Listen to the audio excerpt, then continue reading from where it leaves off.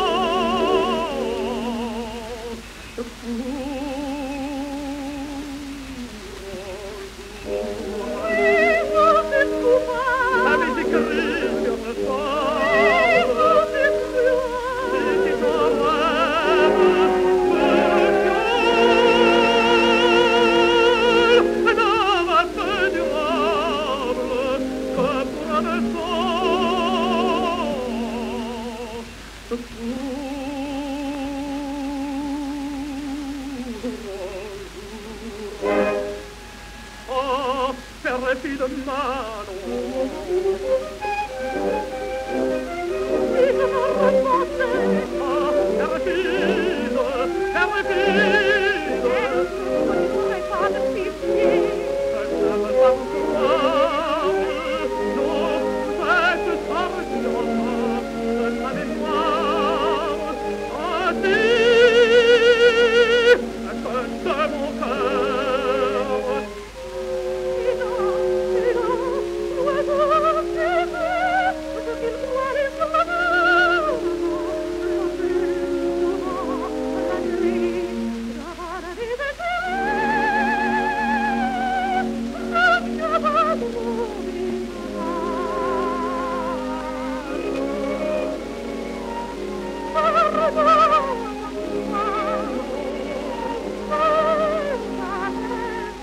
thank you